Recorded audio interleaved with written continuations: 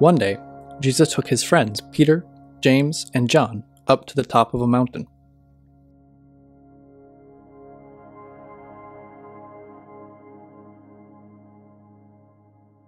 After they arrived, Jesus' appearance began to change. His face became as bright as the sun, and even his clothes started to shine. In that moment, two very important people from the Holy Scriptures, the Jewish Bible, appeared next to Jesus Moses and Elijah. They had lived many hundreds of years before Jesus, leading the Jewish people and teaching them about God.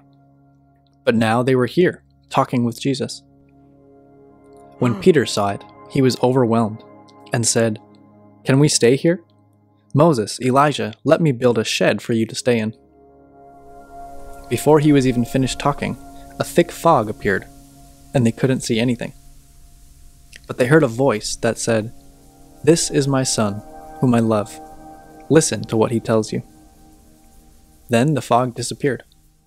Moses and Elijah were gone, and Jesus looked normal like he did before. One day, a man brought his son to the friends of Jesus, the disciples.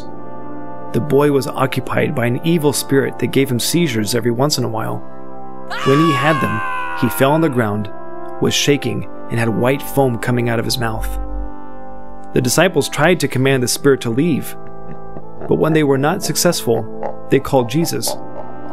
Jesus was frustrated. You people of little faith, how long do I have to be here until you finally start trusting me? When he told the demon to leave, the boy was free at that very moment. A little later, the disciples asked Jesus why they were not able to cast the demon out. And Jesus replied, Because your faith is so small. If your faith was as big as a mustard seed, you could tell a mountain to move, and it would. Trust me, nothing will be impossible for you if you believe in me. Jesus told his disciples that he would be betrayed, killed, and then resurrected on the third day, which made them very sad.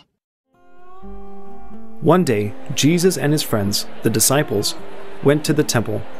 A temple is a building similar to today's big churches. It was a custom to give a donation for the temple when entering.